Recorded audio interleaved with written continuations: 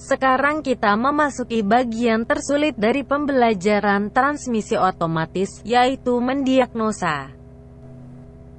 Simak video ini sampai habis karena Pak Guru akan menyampaikan poin-poin terpenting dari pembelajaran mendiagnosa transmisi otomatis.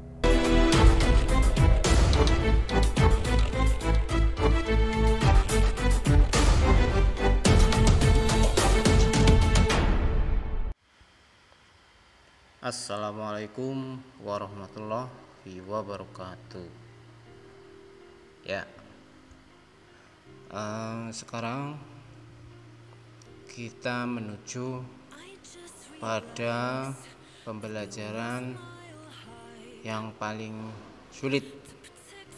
Di transmisi otomatis, yaitu menganalisa, menganalisa, mendiagnosis kerusakan pada transmisi otomatis.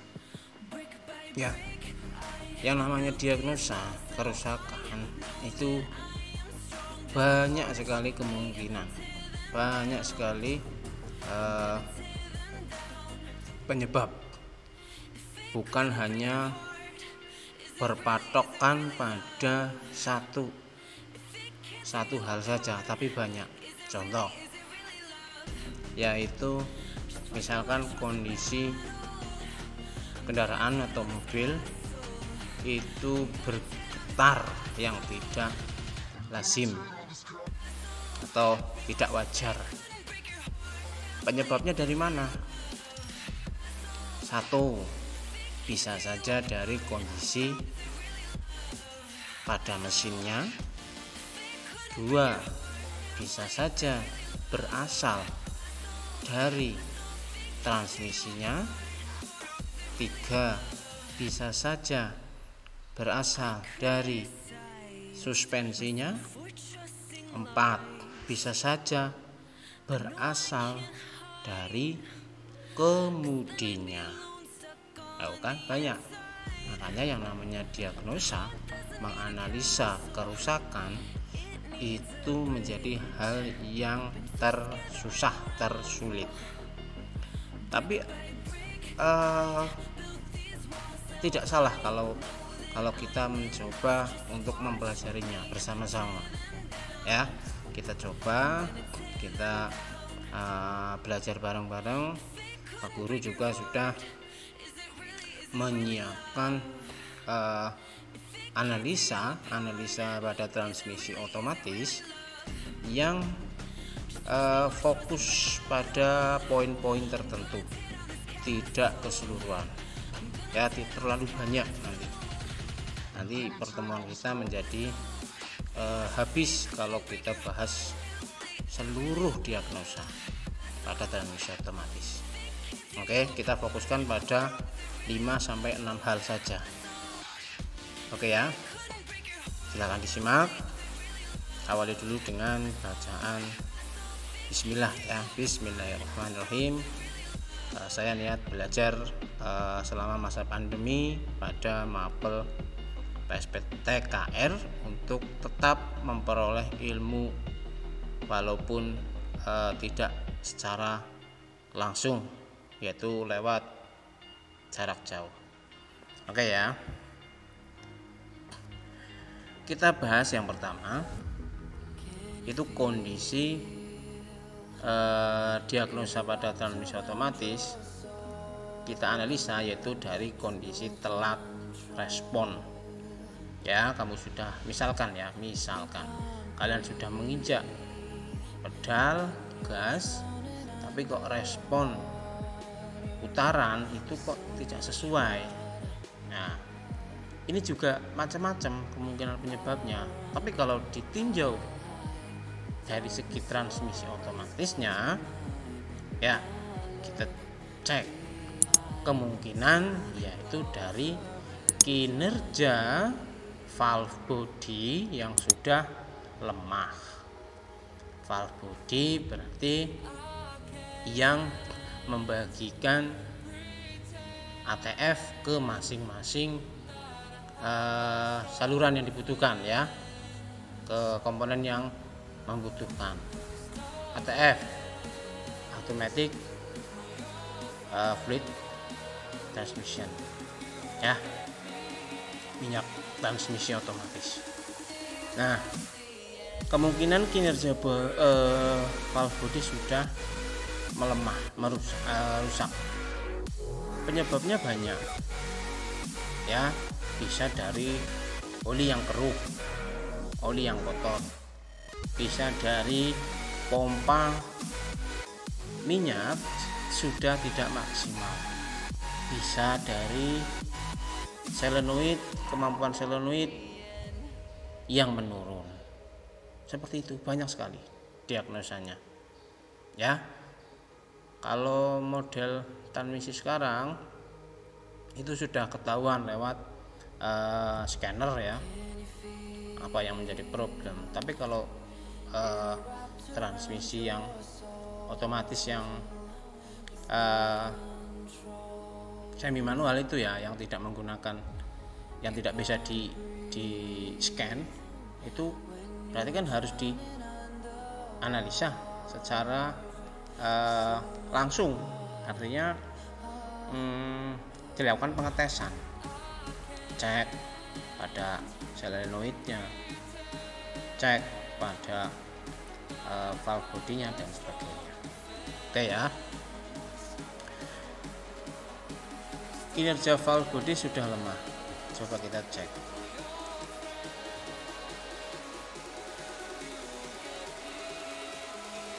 Nah pada video ini ini terlihat sebuah valve body ya yang kondisinya sudah lemah. Nah ini mau dicopot karena baut punya sudah terlepas semua tinggal diangkat.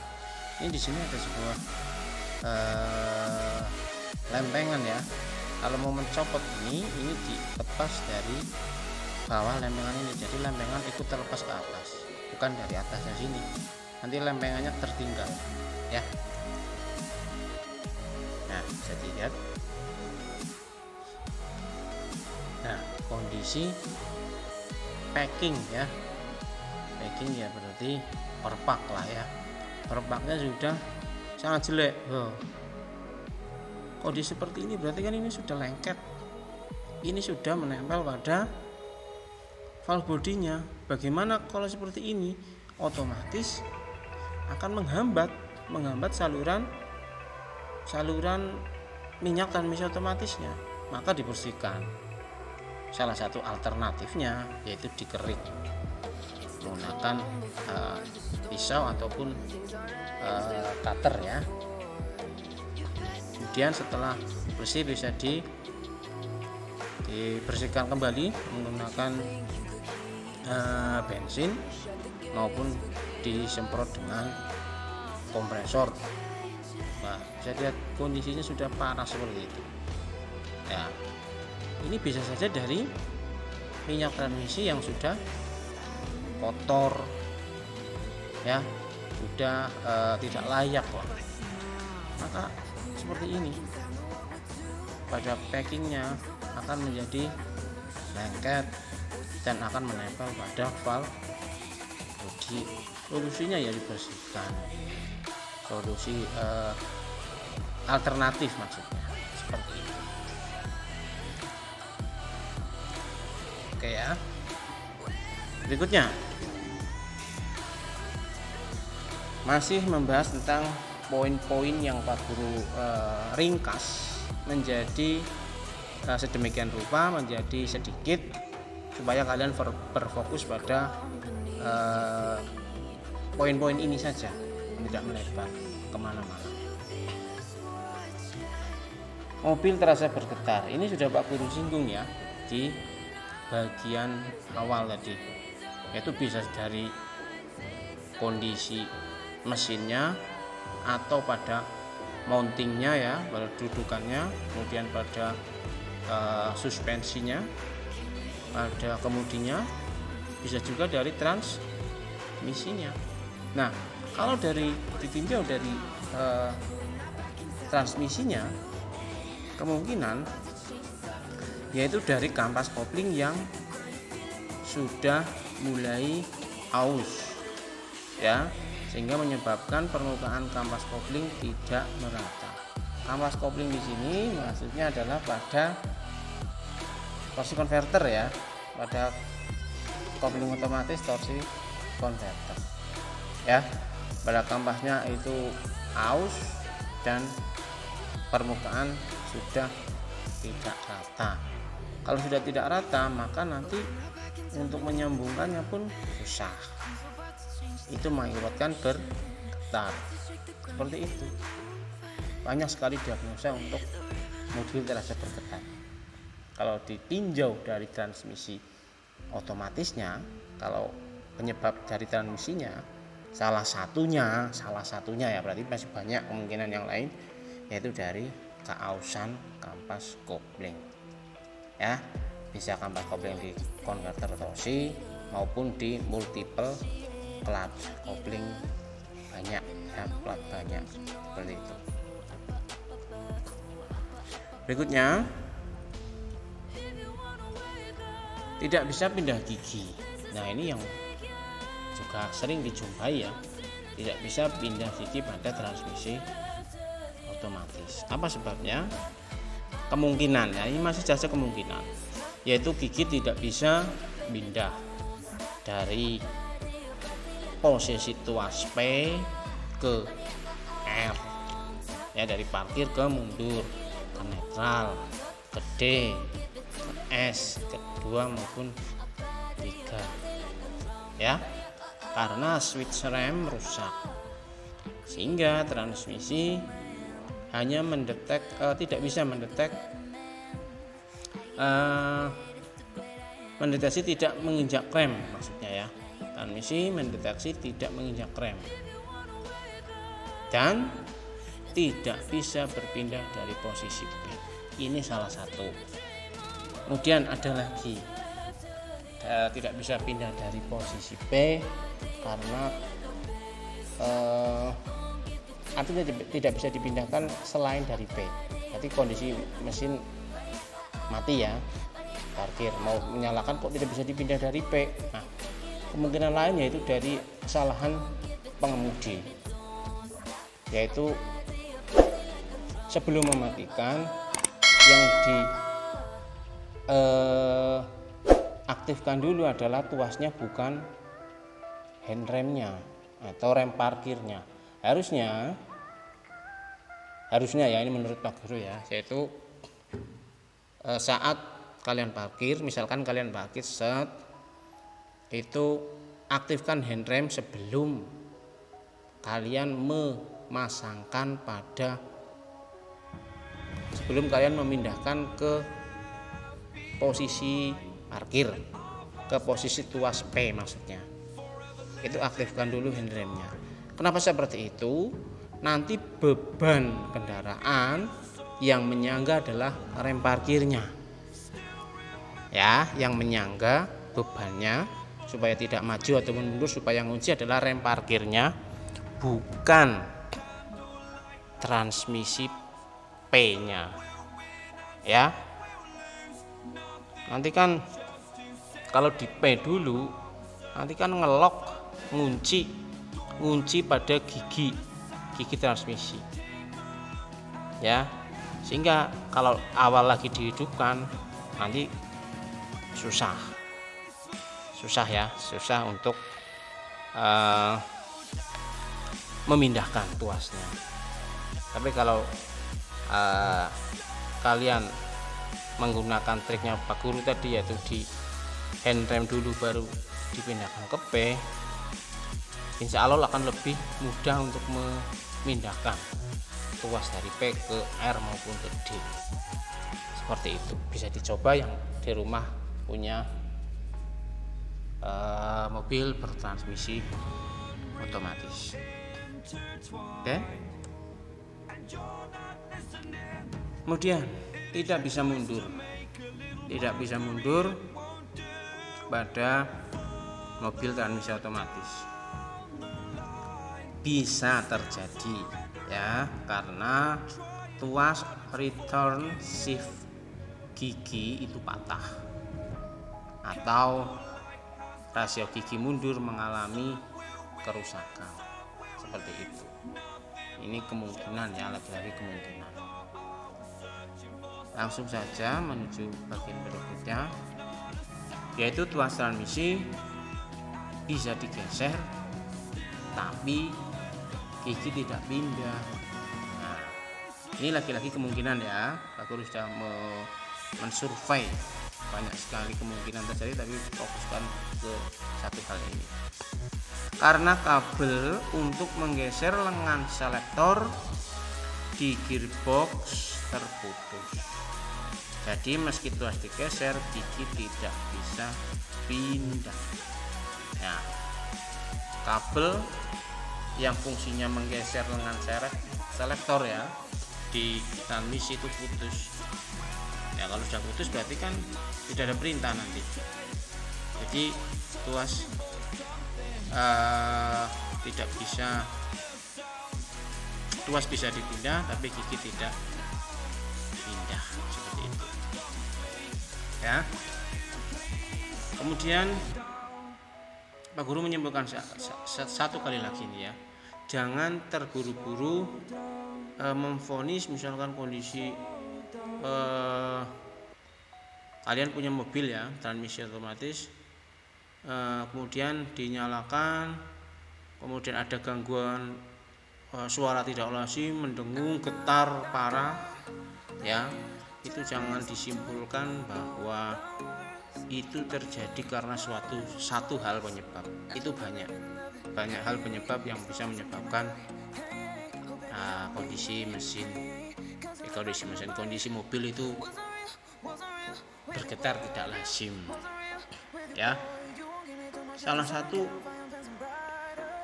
tips ya tips dari Pak Guru bisa kalian coba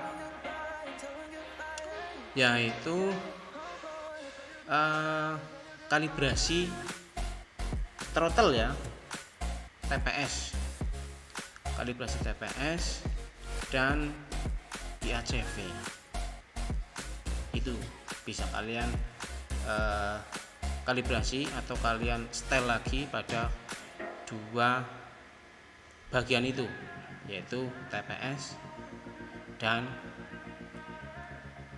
IACV ya coba dulu pada dua itu. Siapa tahu nanti ada perubahan oke lanjut. Berikutnya yaitu ini. Nomor 6 ini kalau Pak Guru simpulkan ini adalah penyebab dari semua salah satu ya salah satu penyebab dari semua gejala yang Pak Guru sudah jelaskan. Kebocoran cairan transmisi otomatis yang namanya transmisi otomatis itu enggak boleh. Yang namanya berkurang bocor karena cairan transmisi otomatis ATF nya itu sangat vital. Ya sangat vital. Kalau terjadi kebocoran otomatis volume berkurang kan?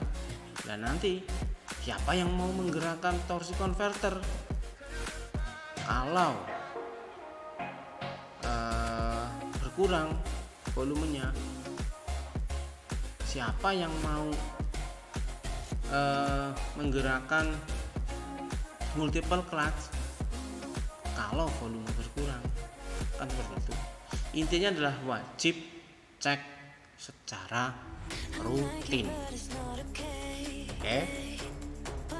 Penyebab umum dari kebocoran cairan transmisi adalah keausan yang konstan pada sil karet.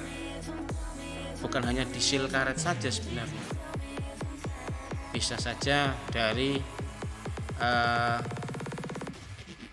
sil karet di input shaft bisa juga ya bisa dari kasket bak transmisi bisa juga bisa juga dari seal uh, drive shaft juga bisa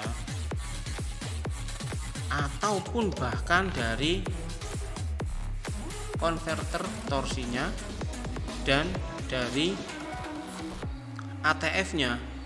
ATF itu pada sambungan-sambungannya maksudnya. ATF bocor pada sambungan-sambungan saluran oli. Ini bisa saja ya. Kemudian kalau volume berkurang itu bisa menimbulkan gejala yang bisa saja terjadi ya seperti misalkan ini Pak Guru misalkan saja ya transmisi lambat terhubung saat tuas transmisi dipindah ke posisi D atau drive. Nah berarti kan dari poin yang sebelumnya Pak Guru jelaskan tadi termasuk e, dibahas di sini yaitu pada kebocoran cairan transmisi. Bisa menyebabkan transmisi lambat terhubungnya. Ya sudah dipindah tuasnya tapi kok tidak mau pindah atau lambat pindahnya. Kan bisa saja dari kebocoran ini berarti. Yang namanya diagnosa itu banyak. Jangan menyimpulkan hanya satu. Kemungkinan itu banyak sekali. Kemudian gejala berikutnya bisa dari perpindahan gigi atau pertautan gigi terasa lambat saat melaju pada posisi D. Ya berarti telat respon misalkan. Tadi kan nomor satu itu ya. Itu bisa dari bisa jadi dari kebocoran cairan transmisi. Awal muasalnya asal muasalnya bisa dari cairan transmisi otomatis. Nah seperti itu ya. Jadi intinya jangan disimpulkan diagnosa itu hanya satu oh jelas dari ini sebabnya tidak. Banyak kemungkinan. Oke. Kemudian bisa dicek untuk uh, cairan transmisi otomatis bisa menggunakan dipstick ya. Dipstick. Kemudian untuk warnanya berwarna merah terang dan bersih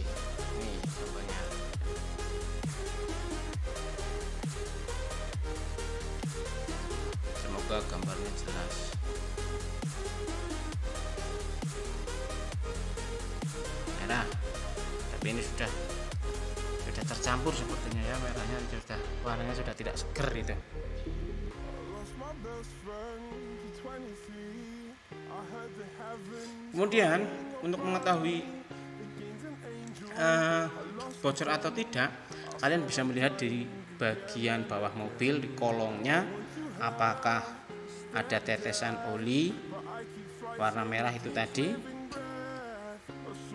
Kalau iya berarti bisa kemungkinan itu adalah bocor. Kemudian kalian juga bisa memeriksa air radiator apakah bercampur dengan oli transmisi otomatis? Ya. Karena bisa saja ini tercampur. Tuh kan? Kalau tercampur sudah jelas harus diganti. Kemudian kalau oli transmisi sudah berwarna coklat atau bau kosong ya bau kosong.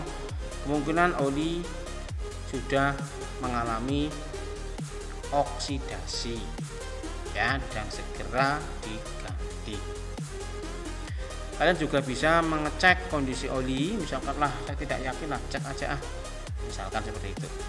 Dengan metode cara blotter test. Apa itu blotter test? Yaitu teteskan beberapa tetes oli transmisi otomatis pada kertas tisu. Jika tetesan oli melebar, kalau tetesannya melebar dan warnanya terlihat merah atau coklat terang seperti e, umumnya berarti masih bagus. Tapi kalau warnanya kok sudah gelap dan tetesan olinya itu melebar kemungkinan itu sudah teroksidasi dan perlu diganti. Nah, seperti itu. Ini diagnosa dasar dari keseluruhan eh, banyaknya diagnosa pada transmisi otomatis. Oke ya. Uh, pada pertemuan kali ini kita fokusnya di diagnosa pada 6 poin penting ini. Kemudian Guru tidak akan membebanimu dengan seluruh diagnosa pada transmisi otomatis. Pak Guru aja juga kalau keseluruhan juga bingung cara menyampaikannya ke kalian. Ya karena terlalu banyak. Begitu ya? Oke? Kemudian kalian bisa menjawab soal-soal yang sudah disiapkan di uh, Microsoft Form. Silakan dikerjakan ikuti pembelajaran penting tetap tetap belajar walaupun kondisinya masih seperti ini ya oke demikian dari Pak Guru uh, kita bisa bertemu di hari esok di pembelajaran jarak jauh tentunya. Oke, sekian saja ya Pak Guru akhiri. Assalamualaikum warahmatullahi wabarakatuh.